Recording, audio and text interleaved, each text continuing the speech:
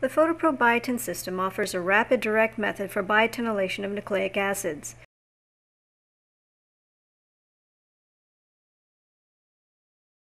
Labeling is based on arylazide chemistry in which the labeling reagent, upon exposure to either heat or light, becomes activated and incorporates into the nucleic acid without base specificity.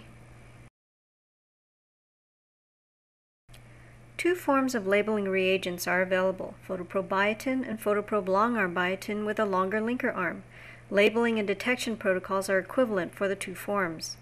Both kits contain sufficient reagents for up to 50 labeling reactions or can label up to 250 micrograms of DNA, RNA, or oligonucleotides. Transfer between 10 and 40 microliters of nucleic acid sample into the tube. The concentration should not be higher than 0.5 milligrams per milliliter.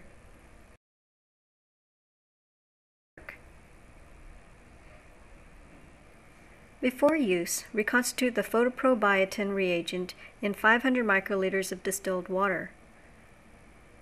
Mix the reagent and store at minus 20 degrees Celsius in the dark.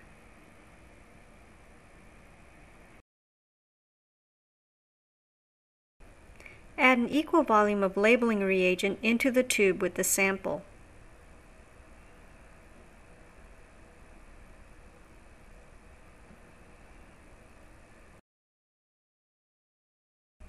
To activate the labeling reagent using a mercury vapor lamp, place the reaction tube with the cap open into an ice bath and slide the bath directly under the lamp. The lamp should be 10 centimeters above the tube. Irradiate for 30 minutes and be careful because a mercury vapor lamp creates a lot of heat. To use a regular tabletop halogen lamp for activating the labeling reagent, place the halogen lamp 5 centimeters above the uncapped tube in the ice bath. Irradiate for 60 minutes. To use a handheld UV lamp, place the lamp 2 centimeters above the uncapped tube in the ice bath. Irradiate for 30 minutes. For thermocoupling, incubate the reaction mixture for 30 minutes at 95 degrees Celsius. To reduce evaporation, the sample can be overlaid with 0.5 mL of mineral oil.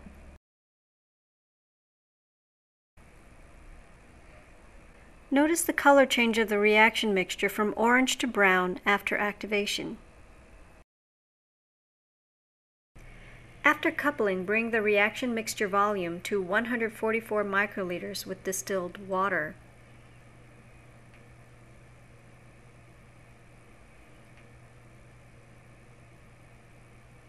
And then add 16 microliters of tris buffer.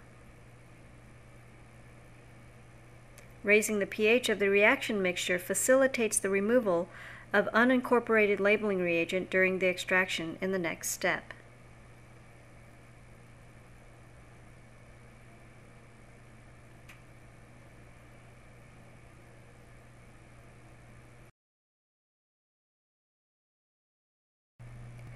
To remove free labeling reagent, add 160 microliters of sec butanol to the reaction mixture.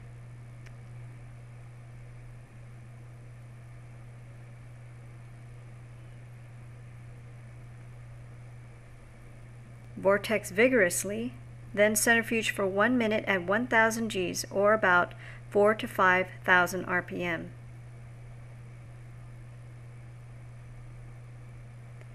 During centrifugation, the reaction mixture will separate into two phases. The lower colorless phase contains the nucleic acid sample. The upper orange phase contains free reagent. Using a pipette, remove the upper phase and discard.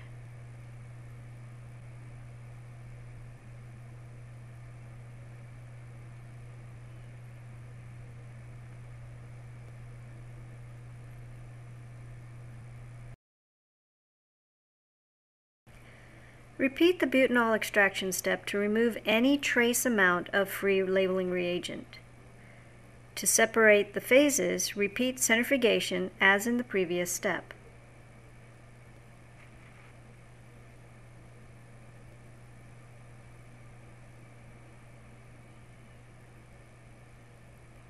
You will notice a decrease in the volume of the lower phase as some of the aqueous solution equilibrates into the upper phase. The volume of the lower phase should be about 40 microliters. Carefully remove and discard the upper butanol phase as in the previous step and save the lower aqueous phase which contains the labeled nucleic acid sample. Precipitate the labeled nucleic acid from unincorporated reagent by adding 2.5 microliters of precipitant and 150 microliters of 95% ethanol. For PNA samples, replace the ethanol with one reaction volume of isopropanol.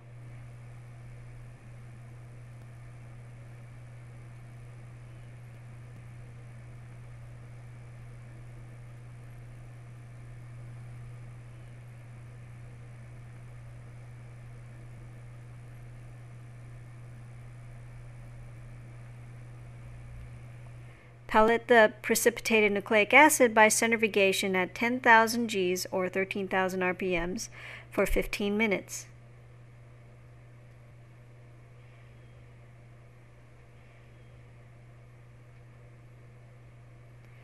Remove the supernatant, trying not to disturb the pellet.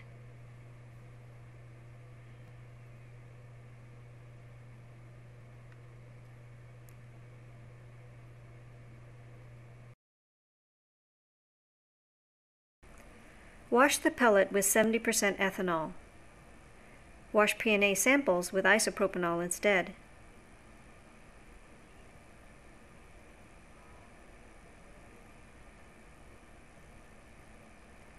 Centrifuge at 10,000 Gs, or 13,000 RPM, for 5 minutes.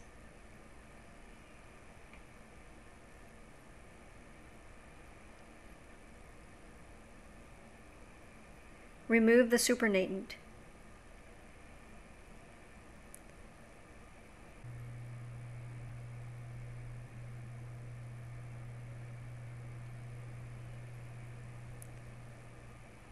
Then air dry the sample for 30 minutes.